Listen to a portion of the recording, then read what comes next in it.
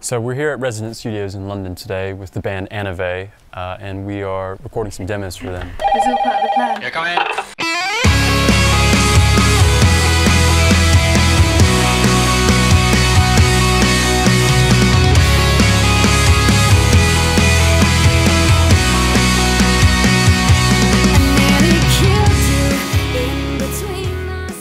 So using a FireWire interface allows me to keep my USB hubs free, where I typically put my external hard drive with my samples and audio files on it.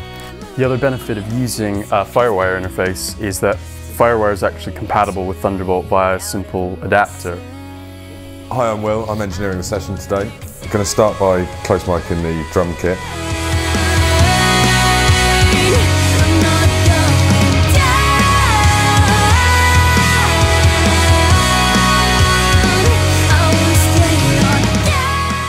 Uh, we're connecting most of the mics into the Pro 26, but we're also expanding by ADAT using an Octopre so that we can get our 10 channels of audio. So now that we'll set up the drum mics, we're going to do a sound check to make sure that nothing's clipping.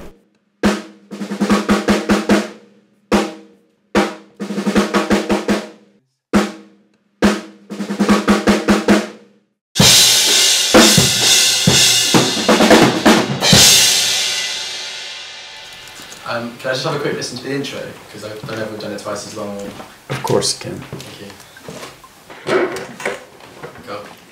Thank you. Alright, cool.